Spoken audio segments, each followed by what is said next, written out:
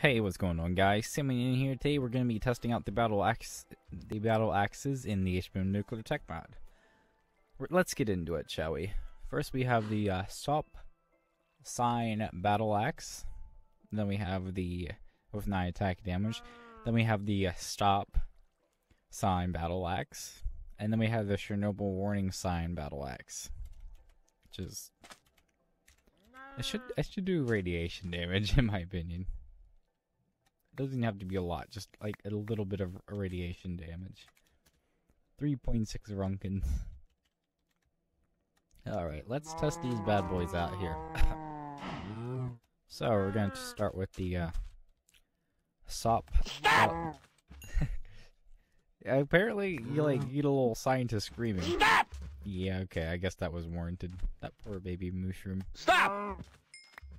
It's a, it's a different person saying it's a different stop almost every time. Stop! Stop! Stop! That's the scientist. Stop! Let's try like Barney or whatever. All right, let's try the uh, stop Stop! sign. Sign. Stop! Stop! Stop! Stop! Stop! Monster screaming! Oh my god! Stop! That's actually kind of funny. Imagine you just go to somebody, Stop! whack them with one hit. Stop.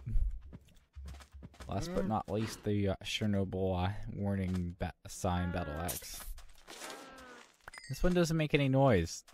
It should make like a, a like RBMK reactor explosion noise every time. Actually, no, that's a bad idea.